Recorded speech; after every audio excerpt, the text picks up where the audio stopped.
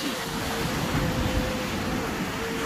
কি সুন্দর ভগবান আরও দুশো বছর বাঁচিয়ে রাখুক আপনাদেরকে কি ভালো লাগছে বাবা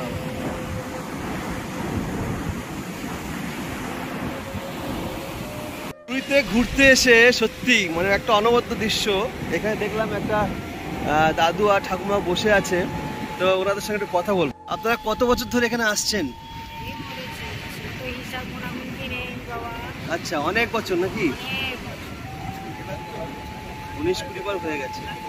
তো এক একটা অনবদ্য দৃশ্য আমি দেখলাম এবং ভগবানের কাছে প্রার্থনা করি, দাদু ঠাকুমা আরও একশো একশো একশো আরও দুশো বছরের এভাবে থাকুক একসঙ্গে। আর খুবই ভালো লাগছে কারণ আমরাও একটা টাইম এরকম বয়স হবে। আমিও বিয়ে করেছি, আমিও চাই আমার ওয়াইফকে নিয়ে ঠিক এরকম শেষ সময়ে এসে এরকম ভাবে বসবো ছেলে মেয়ে বলছে ছেলে তোরা আসেনি না আমি এসেছি। আমার নদিয়া। নদিয়া। তোরা বুঝলি আচ্ছা। তো কিছু কিছু কথা আমার দর্শকের জন্য বলুন।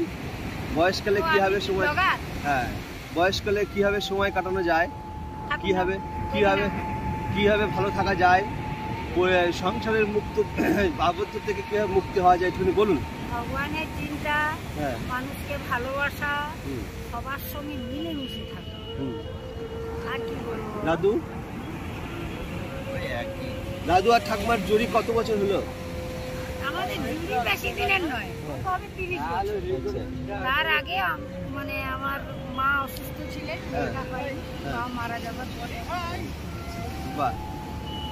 ছেলে মেয়ে? আমাদের কোনো ছেলে মেয়ে নেই। আরে বাপরে আরও আরও ফ্রি ভগবান মানে আরও ফ্রি দিয়েছে।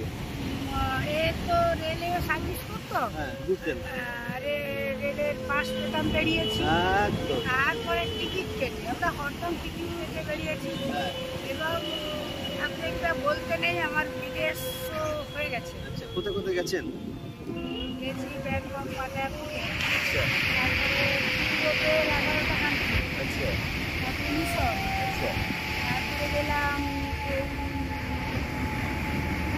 চার তারিখে গেছিলাম ভিয়েতনাম কোম্পানি আচ্ছা।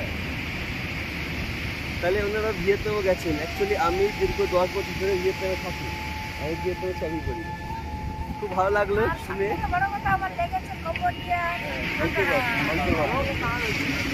আংকরবাদ মন্দির। এখনও অব্দি বিশ্ব ইতিহাসে যত পুরনো মন্দির আছে তার মধ্যে একটা মন্দির। তো আপনি ভিয়েতনামে থাকেন খুব ভালো লাগল আপনার সঙ্গে মিট করে। এইভাবে লাইফকে আপনারা, আপনারাও যারা আছেন, বয়স্ক মানুষ, যারা সংসার জীবনের মধ্যে আবদ্ধ, একটু সময় বের করে আসুন না, দেখুন, খুব ভালো লাগে ধন্যবাদ। ভালো থাকুন।